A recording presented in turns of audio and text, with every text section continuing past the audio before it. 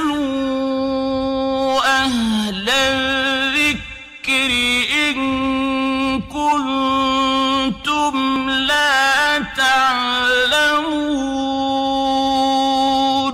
ওয়ালাইকুম আসসালাম রহমতুল্লাহ বরকাত জীবন প্রশ্ন করেছেন যে একটা পশুতে দুইজন মিলে কোরবানি দিতে পারবেন কি পারবেন না জীবন একটা যদি বকরি বা ছাগল হয় সেক্ষেত্রে পরিবারের কর্তা যদি মানে কোরবানি করে, তাহলে গোটা পরিবারের পক্ষ থেকে হয়ে যায়। সুনান আবু দাউদ, হাদিস দু হাজার আটশো দশ।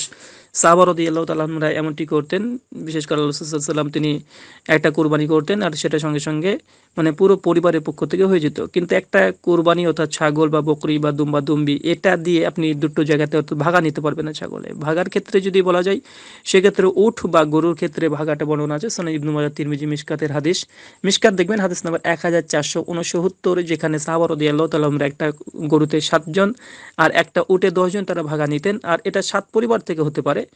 দেখা যায় আপনি, আপনার পরিবার থেকে আপনি একটা ভাগা নিলেন, আপনার পার্শ্ববর্তী পরিবার থেকে আর একটা ভাগা নিল। তাই আপনি যদি এক্ষেত্রে একটা ভাগা নেন, সেটা আপনার জন্য প্রযোজ্য হবে।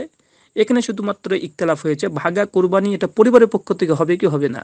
অধিকাংশদের মত না, যদি কেউ ভাগা নেয়, তো যে ব্যক্তি নিচ্ছে একজন ব্যক্তির ব্যক্তির পক্ষ থেকেই হবে, এটা সব পরিবারে হবে না।